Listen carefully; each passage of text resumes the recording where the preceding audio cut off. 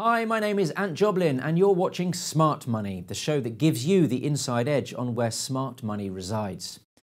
Today, we're looking at a trade made by one of the leading lights in the scientific investment community, Patrick Soon-Shiong, the dual South African and American transplant surgeon, billionaire businessman, bioscientist, and media proprietor. Soon-Shiong is involved with countless businesses in the biomedical sector at executive level, and the chairman and CEO of today's stock, NantKwest Inc., a clinical stage immunotherapy company based in California. Main product candidates for this $1.17 billion market cap company includes treatment for cancers, infectious and inflammatory diseases.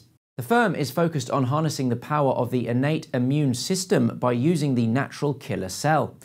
Now, Soon-Shiong recently increased his holding in NantKwest at the end of June, purchasing 3.7 million shares for an average price of $12.12. This trade came just shy of $45 million in size and took his total holdings to 23.7 million shares, which at the time of the trade had a market value of $287 million. This trade took place as part of an underwritten public offering of an aggregate of 8,521,500 shares of its common stock. The terms included 4,811,500 shares at a price to the public of $9.50 per share and 3,710,000 shares at a price of $12.12 per share to Soon-Shiong.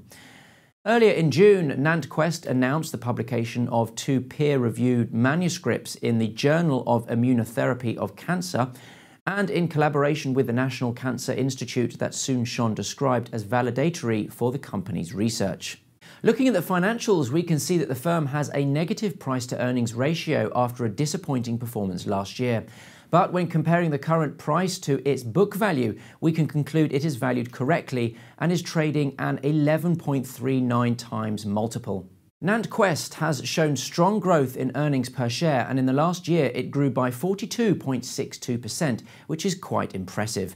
Revenue has grown by 25.53%. Respective current and quick ratios of 3.1 indicate the firm is well capitalized and has no problem at all meeting its short term obligations. Looking to the charts, we can see that the stock is trading at highs not seen since 2016, and price action is currently capped by stiff resistance at the $13 level. The most part, 2019 was a bit of a blowout year where up until Q3 the stock ranged at all-time low prices between $1 and $1.5 per share. Currently, the stock has little up ahead in terms of technical resistance levels, preventing it from returning to its all time highs around $38 per share. Momentum is trending in and around overbought territory, while both the 50 day and 200 day moving averages are trending higher below the current stock price. That's all we have time for today, but as always, make sure you do your own comprehensive research before making an investment decision. Thanks for watching and join us next time.